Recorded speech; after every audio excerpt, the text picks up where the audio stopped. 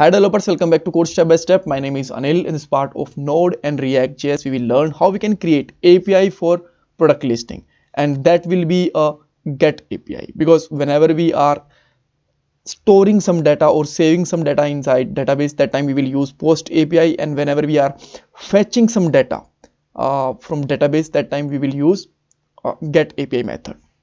So first of all we will create a, a route for that API then we will fetch data from database.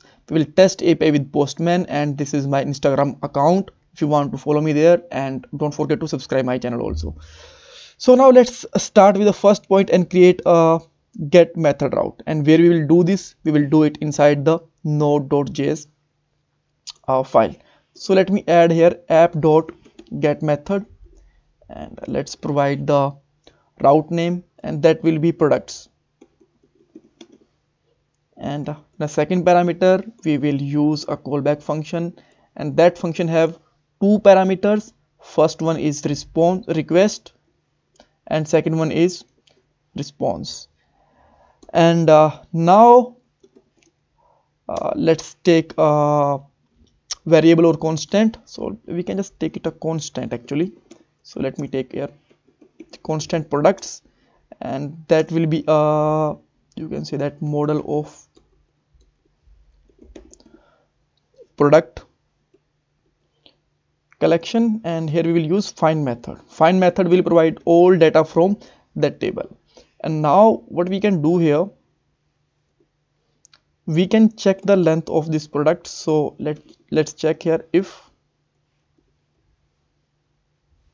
products dot length is greater than 0 that means we have some data inside it.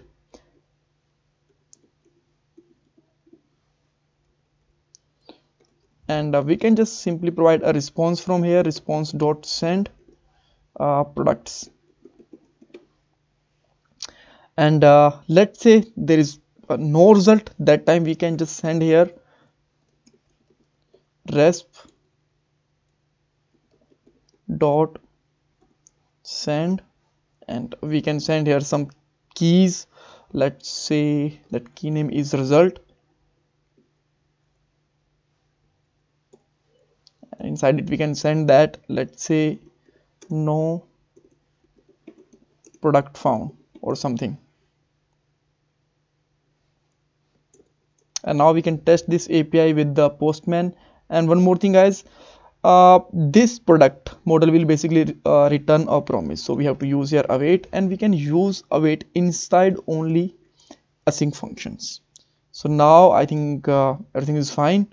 So now let's test it with the postman.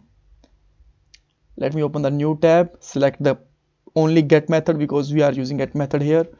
Localhost uh, port is 500 then products and let's check it now you can see that we are getting four result here.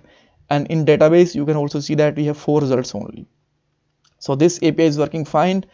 And you can ask that why we are not showing the result according to the specific user. We will do it in the upcoming video but uh, before that i just want to show you a basic and simple get api uh, example. That's why i just uh, did that. And in the upcoming uh, videos we will make filter and uh, uh, search api that time we will just filter the data with the help of user id price name and all right? So uh, that's all for this video and uh, thank you for your time. If you have any queries you can ask me in the comment, comment box and don't forget to subscribe my channel and like this video. Thank you so much